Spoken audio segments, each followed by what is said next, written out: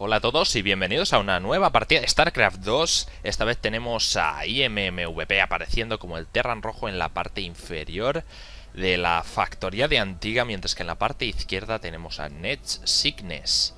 Eh, como sabéis, esto es la factoría de Antigua. Bueno, quizá no, quizá no lo sepáis, pero Aquí tenemos una expansión natural, aquí tenemos una segunda muy fácil de, defender, en el centro tenemos un oro y como siempre una torre Shenlaga. Esto es uno de los mapas nuevos de la tercera temporada y un dato curioso es esta entrada trasera por la cual se pueden colar eh, segadores.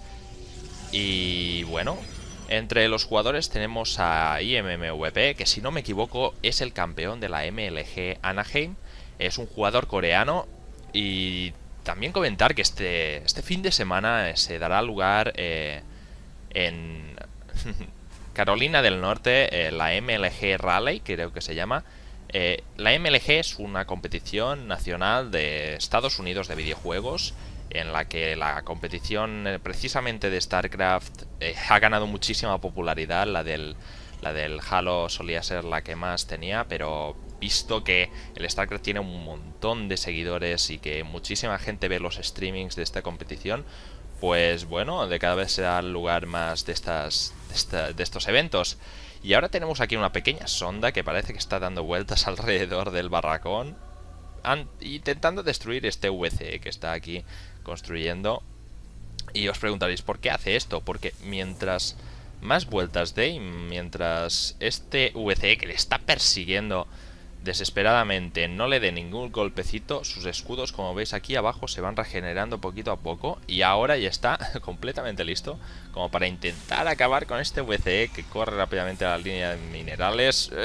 quizá caiga, este VCE quizá consiga darle el golpe definitivo, aquí lo hemos visto. Y nada extraño tenemos por aquí, solo pues eso, comentar que IMMVP ganó eh, el MLG de Anaheim. Es una competición bastante importante y eso lo, lo coloca como uno de los mejores jugadores del mundo, sobre todo al derrotar a MMA, que fue eh, el aprendiz de Botchers, de Team Slayers. Todo lo que digo quizá suene a chino, pero intentaos acostumbrar porque este culebrón tiene muy buena pinta, sobre todo si sabes de qué, de qué se habla.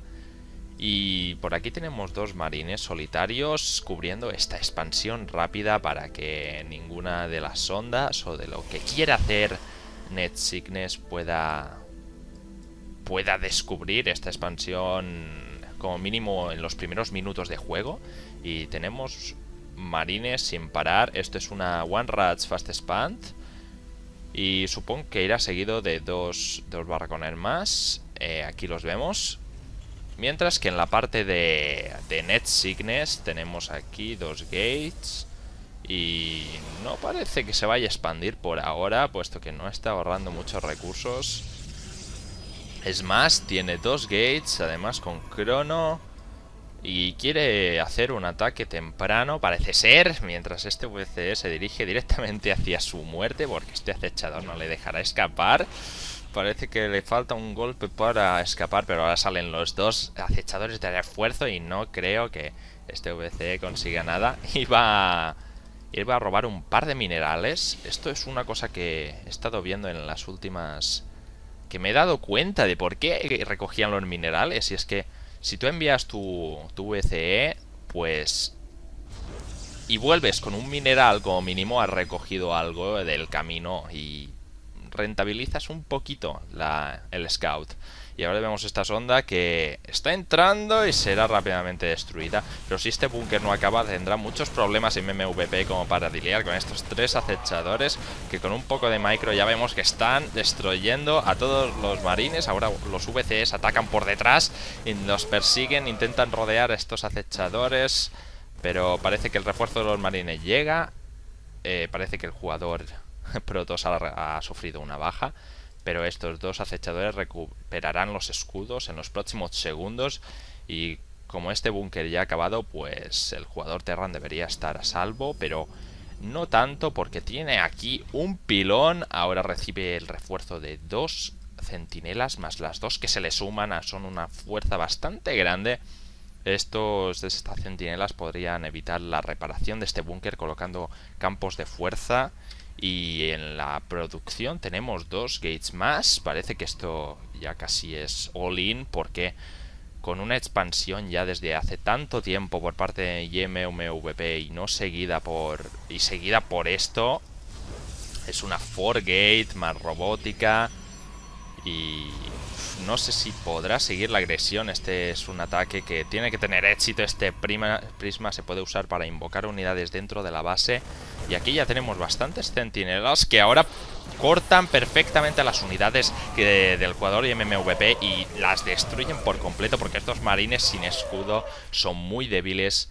Parece que IMMVP intenta resistir, ganando esta ventaja económica poquito a poco cuando pasa el tiempo y parece que NetSignes carga estos cuatro centinelas dentro de la base Terran y harán mucho daño, bloquean la rampa evitando que el jugador Terran pueda entrar en su propia base, ahora empieza a destruir estos barracones, los marines salen, envía también los VCS, pero este, este prisma se coloca de tal manera que puede invocar que puede invocar a los fanáticos que están destruyendo todo lo que se encuentran, estos VCS están cayendo uno a uno y Dios, vaya jugada que se acaba de marcar, evitando que los marines entren en su propia base, destruyendo todos los refuerzos que salen de estos barracones. Estos acechadores están acabando rápidamente con todos los marines que ahora intentan eh, intentan, pero no lo consiguen entrar en su base porque estos, estos centinelas están bloqueando cada 2x3 esta base, solo dejando los marines aquí muy apretados que no pueden hacer casi nada. Ahora IMMVP se encuentra obligado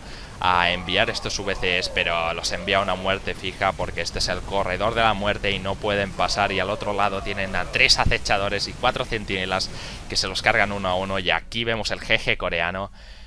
Vaya jugada. Eh, he estado buscando sobre esta estrategia y parece ser, mirad, que aún invocaba más refuerzos. Y parece ser que es sobre todo efectiva contra cerca, aunque como vemos aquí contra Terran también parece bastante efectiva si la sabes llevar a cabo. Y vaya partida, aún no me creo que haya visto esto. Pero bueno, es una partida que ya pensaba traeros hace un par de días, pero el micro no ha ido del todo bien, así que si va bien seguiré así. Si no, compraré otro nuevo y ya sabéis, gracias por verme y hasta la próxima.